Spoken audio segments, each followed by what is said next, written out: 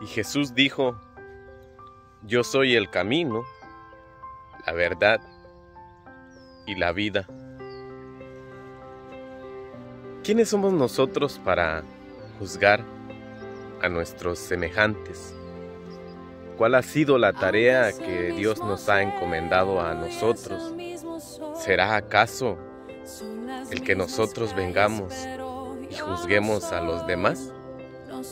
¿Será acaso la tarea esa que Jesús eh, encomendó a cada uno de nosotros, los que hemos tenido un encuentro con Dios? ¿Acaso en el pasado no también cada uno de nosotros estuvo perdido? ¿Acaso antes de conocer a Jesús nosotros no cometíamos errores y andábamos en situaciones desenfrenadas? ¿En una vida sin temor a Dios? ¿Acaso no eso éramos cada uno de nosotros antes de ese encuentro?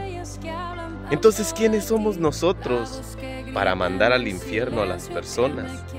¿Quiénes somos nosotros para condenarlos en vez de ayudarlos, en vez de traerlos al conocimiento de Dios? Los alejamos, los condenamos, los juzgamos, los hacemos a un lado y los tratamos de grandes pecadores pero se nos ha olvidado que en el pasado nosotros mismos andábamos en esos terrenos. ¿Y qué estamos haciendo para traer a cada uno de ellos al conocimiento de Dios? ¿Será que estamos mostrando ese gran amor que Jesús mostró por cada uno de sus hijos, por cada uno de los pecadores? ¿Será que nosotros estamos haciendo ese trabajo hoy en día en vez de estar juzgando a la gente, deberíamos de estar trayendo amor, deberíamos de estar tratando de acercarlos a que vengan al conocimiento del Dios verdadero.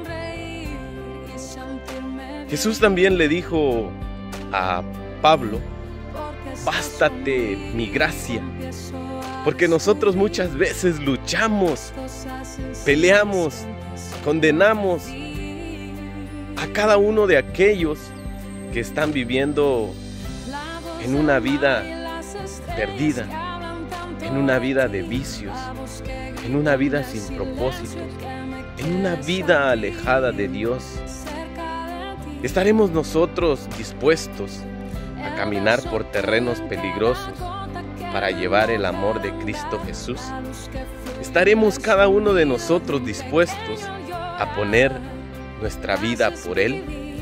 ¿Por qué en vez de estar juzgando a los demás, no hacemos el trabajo por el cual Dios nos ha encomendado, Dios nos ha puesto en esta vida?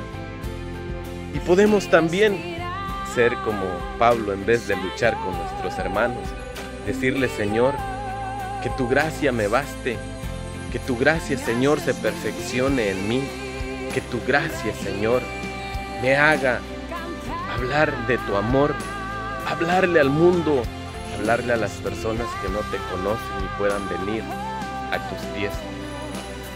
No a los tuyos, no a tu antojo, sino a los pies de Jesús. Porque Él dijo, yo soy el camino, yo soy la verdad y yo soy la vida. Y gracias a Él conocemos nosotros ese camino, pero también gracias a Él nos ha dado la capacidad para poder hablar de su nombre, para poder hablar de su gran amor.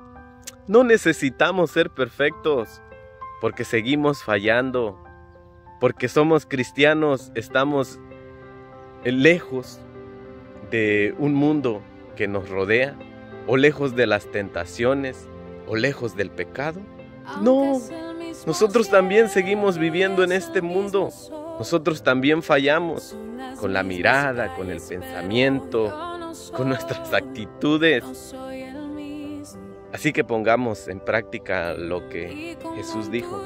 Bástate mi gracia y ayudemos a los demás a acercarse al amor de Cristo. Que Dios te bendiga donde quiera que te encuentres. Saluda tu amigo Rocky Roblero.